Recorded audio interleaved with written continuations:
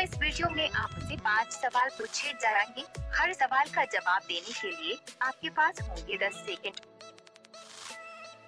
ज़्यादा समय चाहिए तो आप वीडियो को पॉज भी कर सकते हैं। तो चलिए दोस्तों शुरू करते हैं।